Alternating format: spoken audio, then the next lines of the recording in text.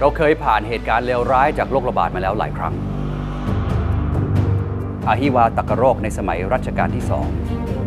มีคนเล่าว่ามีกองศพสมรวมอยู่ที่วัดต่างๆ นอกกำแพงพระนคร เปิดหน้าต่างออกมา มีแต่อีแรงบินว่อนมากินซากศพ โรคอาฮิวายังระบาดอีกหลายครั้ง ในสมัยรัชกาลที่ 6 ไข้หวัดสเปนทำให้คนไทยเสียชีวิตถึง 80,000 คน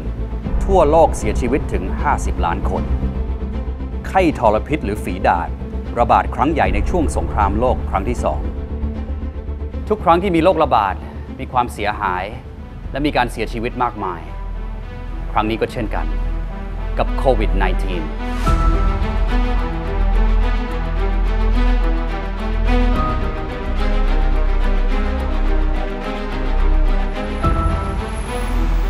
เราต้องก้าวผ่านมันไปให้ได้ เหมือนทุกครั้งที่ผ่านมา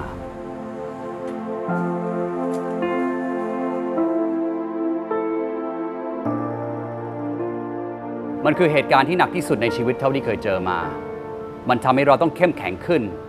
และสู้เต็มที่เพื่อที่จะผ่านมันไปให้ได้ ทุกวิกฤตผ่านมาได้ เพราะคนไทยไม่ท้อ ไม่ถอย